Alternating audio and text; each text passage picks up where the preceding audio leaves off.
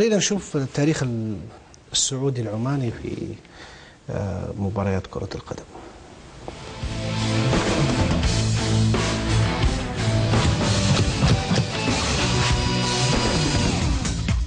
دائما وقبل كل مباراة بين أي منتخبين أو أي فريقين في العالم تتجه الأنظار نحو التاريخ وهنا أقصد تاريخ المواجهات التي جمعت بينهما.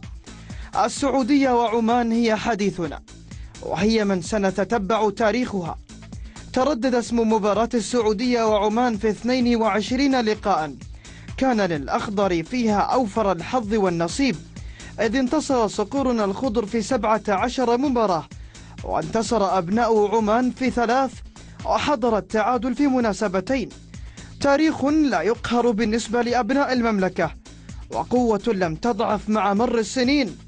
وما زالت يد الكرة السعودية هي الطولاء لكن لو توقفنا قليلا ونظرنا إلى آخر أربع مباريات جمعت بين المنتخبين نجد أن عمان انتصرت في ثلاث وتعادل المنتخبان في مباراة. أي أن عمان استطاعت أن تفرض سيطرتها على مبارياتها مع الأخضر أخيرا.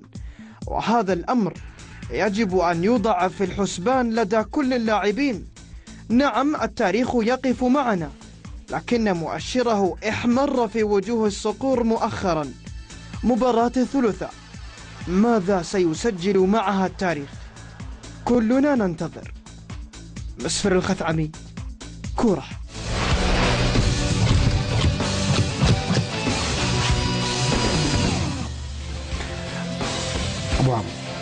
التاريخ ممكن يكون له أي تأثير في المباريات اللي مثل هذه بين لا أعتقد. المتنافسة؟ لا أعتقد. لا أعتقد. لأنه المباراة المباراة هذه تخضع لحساباتها الخاصة ولظروفها المصاحبة لها.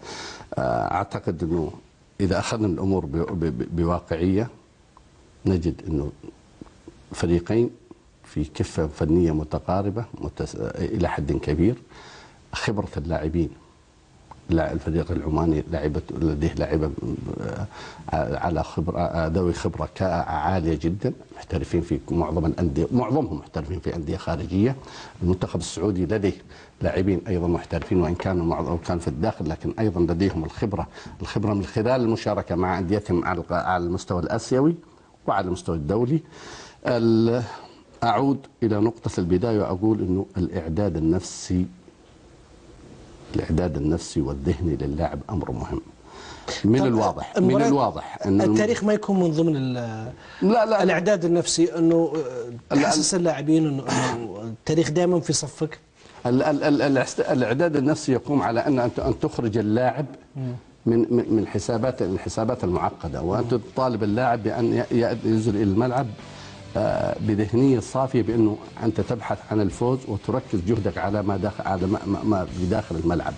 التاريخ ماضي انتهى أنت الآن أنت الحاضر هو انت انت أنت تبني المستقبل. المستقبل إذا معناته المستقبل بناؤه يتم من خلال الحاضر من خلال النتائج التي ستخرج بها في هذه المباراة. النظر إلى الماضي لن لن لن يحقق لك اي شيء. أعتقد انه المنتخب السعودي بعد مباراه بعد مباراته الماضيه مع تايلاند أعتقد انه الفريق الآن تنفس الصعداء وباستطاعة اللاعبين أن يقدموا ما لديهم من إمكانات فنية وأن يتفاعلوا مع الجانب التكتيكي. في المباراة الماضية كان هناك أخطاء أخطاء وأخطاء كبيرة على الجانب الدفاعي وفي خط الوسط أيضا في الأدوار التي كانت بيؤدي بيؤديها اللاعبين في خط الوسط أعتقد انه هذه تحتاج إلى علاج وعلاج مباشر من قبل المدرب وبص يعني وبمكاشفة صريحة بين اللاعبين والجهاز الفني. أم فيصل. إذا ذكرت التاريخ التاريخ القريب هذا من صالح عمان لكن لما نرجع التاريخ السابق كان المنتخب يتفوق على عمان بنتائج كبيرة. وتطور طبعا المنتخب العماني وأنا أيد الأخ عبد الله إنه المستويات متقاربة ولكن عمان الآن إذا من الناحيه الفنية ترى عنده نقص لاعبين مهمين هو أحمد كانو وأحمد حديد. أحمد حديد مريض الآن يمكن أتوقع ما يلعب إذا ما كانت تمويه. وأحمد كانو موقف. هذا مؤثرين بالمنتخب العماني. هم القوه عندهم في الحراسة. الحراسة عندهم علي الحبسي حارس يعني معروف. ولكن آه، آه، كرات آه، مهاجمينا يعني ما أتوقع أنه زي الهدف اللي جابه هزازي يعني في الزاويه أو هدف الهريفي ال- ال- الفريدي. أنا دائما ألوم اللي يغلط بين الفريدي والهريفي لأن أنا رحت معهم. الفريدي لأنه يلعب نفس موقعه. آه هدف الفريدي برضه مش صعب على أي حارس يعني مثل اللي يعني منفرد. ف الكفة تميل صالح المنتخب آه، السعودي. ف آه، يعني أنا متفائل جدا آه، ولكن العامل المهم في المباراة أتوقع هو اللاعب رقم واحد اللي هو الجمهور. إذا حضر الجمهور كما حضر مباراه تايلاند وسيحضر إن شاء الله.